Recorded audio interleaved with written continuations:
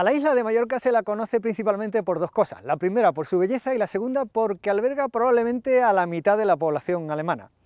Tal vez por ese motivo los señores de Mercedes, alemanes ellos, nos han traído hasta aquí para probar por primera vez el nuevo Clase B, un coche anteriormente conocido como monovolumen y ahora como Sports Tourer. En cualquier caso, el nuevo modelo trata de recibir todo lo bueno de su hermano de gama, el Clase A, la estética, el equipamiento e incluso la gama de mecánicas con alguna novedad como veremos. En este evento de presentación internacional tenemos un poquito menos tiempo del acostumbrado y también nuestro vídeo tendrá que ser un poquito más breve, así que al lío.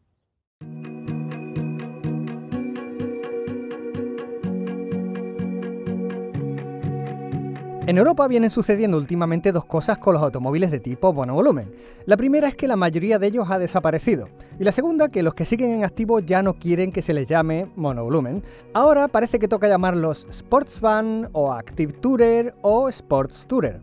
Así es como Mercedes-Benz denomina su nuevo clase B, uno de los pocos coches anteriormente conocidos como monovolumen que se resisten a desaparecer. En esta tercera generación, el Mercedes Clase B pretende transmitir una imagen de mayor deportividad sin sacrificar su espíritu viajero, y de ahí lo de llamarle Sports Tourer. Al igual que el modelo precedente, el nuevo Clase B guarda relación directa con el Clase A, si bien su carrocería de tipo monovolumen garantiza superior habitabilidad, modularidad y capacidad de carga. Las proporciones del clase B han variado lo justo para incrementar la impresión visual de dinamismo. Ahora es 2,6 centímetros más largo, con 3 centímetros más de batalla, y un centímetro más ancho, mientras que la altura total decrece en 0,4 centímetros. Además, el nuevo modelo rebaja el coeficiente aerodinámico a solo 0,24. No puede decirse que su diseño exterior haya sufrido ninguna revolución, pero se aplaude que la línea de cintura esté mejor trazada y que la estética global trate de aproximarse a la del nuevo clase A. Y aunque una carrocería de este estilo nunca es tan vistosa como la de un compacto, este clase B presenta, a mi modo de ver, algunos rasgos más agraciados que los de su hermano de gama, en especial la parrilla invertida y los elementos de iluminación.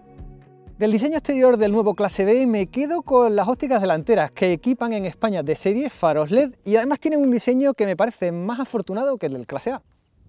Y lo que menos me gusta de este coche y de muchos otros, no solo de esta marca, sino de algunas de la competencia, es esto. ¿Qué pasa si meto la mano aquí? Pues nada, porque esto lo podemos llamar escape o lo podemos llamar moldura o como nos apetezca, pero desde luego no es lo que parece ser. Si el exterior del nuevo clase B trata de asemejarse al del clase A, el puesto de conducción presenta, si cabe, más elementos en común, aunque por supuesto con las cualidades típicas de un monovolumen. En comparación con el clase A, el puesto de conducción del clase B se distingue por ofrecer una posición de conducción mucho más elevada, nada menos que 9 centímetros. También en el nuevo modelo hemos ganado otros 3 centímetros de anchura y, por supuesto, la visibilidad es superior a tratarse de un coche de tipo monovolumen.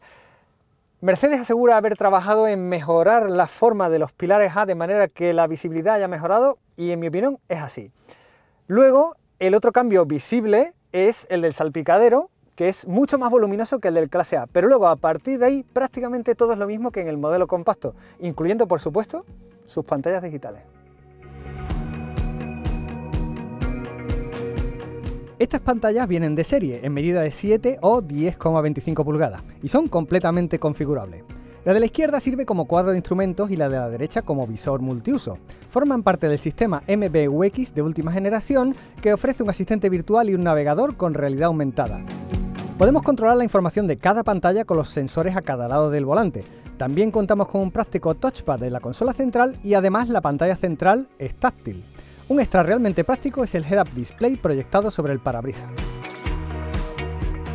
Este completo sistema de infoentretenimiento ha permitido simplificar la distribución de mandos y controles, bien organizada en este nuevo modelo.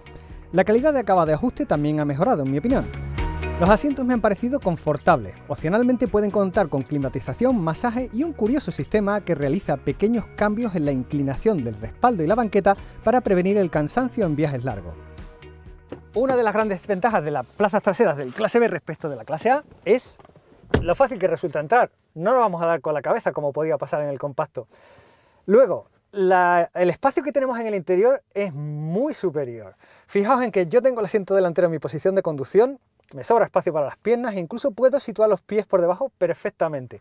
También hemos ganado un centímetro extra de anchura y otro de altura al techo, De manera que si el anterior clase B iba sobrado en este aspecto, el nuevo todavía más.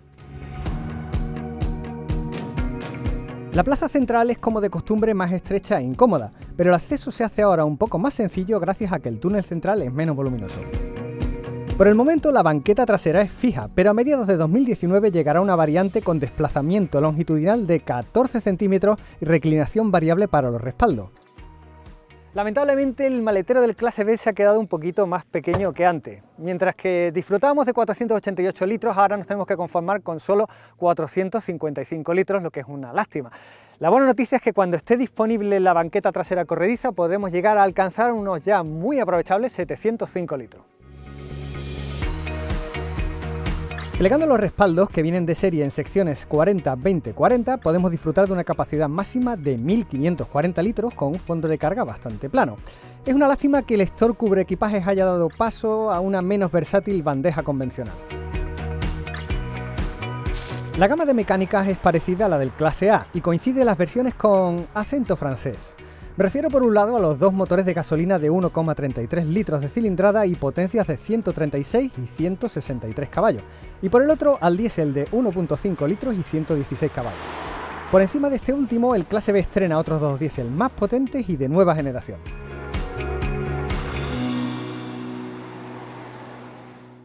Para esta primera prueba de conducción, Mercedes nos ha cedido un B220D. Esta versión incorpora el nuevo motor de 2 litros que sustituye al anterior de 2.2 litros y está disponible en este caso en 190 caballos y también en el B200D en 150 caballos. Este motor de 190 caballos me parece casi sobrado para este coche, tiene empuje a todo régimen, la verdad es que me parece que es casi más de la cuenta, con el de 150 caballos estoy convencido que es más que suficiente para viajar con la familia y el coche cargado.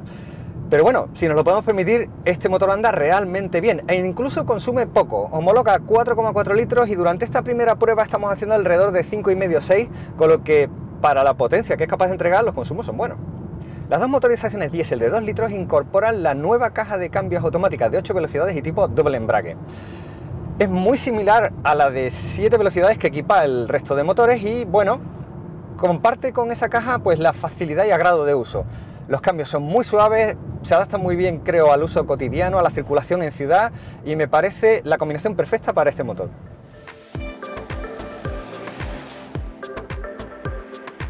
Por ahora todos los motores se acompañan de caja automática de doble embrague.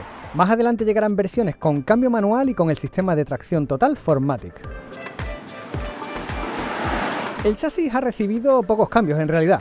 Los 3 centímetros extra de distancia entre ejes elevan ligeramente el aplomo en carretera, aunque en comparación con el clase A la dirección está más desmultiplicada y las suspensiones cuentan con mayor recorrido y un tacto bastante más suave.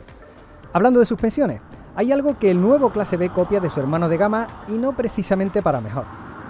Por desgracia en el clase B se repite la historia del clase A y solo las versiones más potentes, estas dos diésel, equipan el eje trasero multibrazo y por lo tanto el resto se tiene que conformar con un eje trasero de barra de torsión. Tampoco es que sea un drama, porque en realidad un coche como este que va dirigido a un uso rutero, familiar, en el que vamos a hacer muchos kilómetros y no vamos a practicar una conducción deportiva, pues tampoco pasa nada. Pero sí es una lástima que un coche de este nivel de precios, pues tengamos que renunciar a la suspensión más sofisticada que sí equipaba el modelo anterior.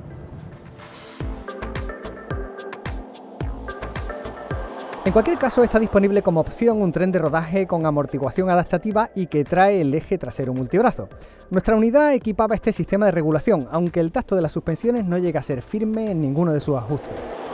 Nos cuenta la marca que lo que pretendía con el nuevo Clase B era mejorar el confort de marcha sin sacrificar el dinamismo del modelo anterior. Y en cierto modo lo han conseguido. El coche en efecto no es más dinámico que el modelo anterior, es un es un coche que no nos va a ofrecer las sensaciones de un clase A, por ejemplo.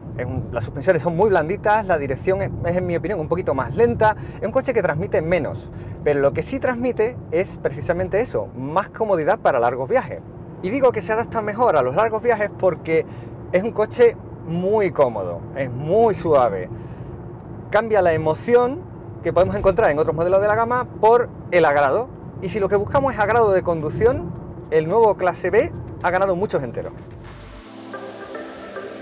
Muchas de las mejoras incorporadas en el nuevo clase B tienen que ver con los sistemas de seguridad activa. Viene de serie el asistente de frenado con reconocimiento de peatones y ciclistas, así como la alerta de fatiga del conductor.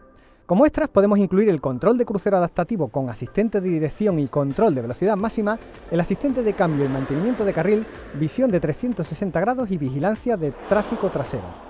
También es opcional un estupendo sistema de iluminación LED adaptativa, aunque como dije, los faros LED convencionales son de serie.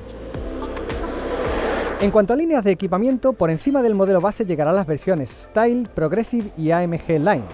En el momento de grabar este vídeo la marca no ha revelado los precios para España, pero sí anuncia que el nuevo Mercedes-Benz Clase B saldrá a la venta en diciembre. La entrega de las primeras unidades está prevista para febrero de 2019.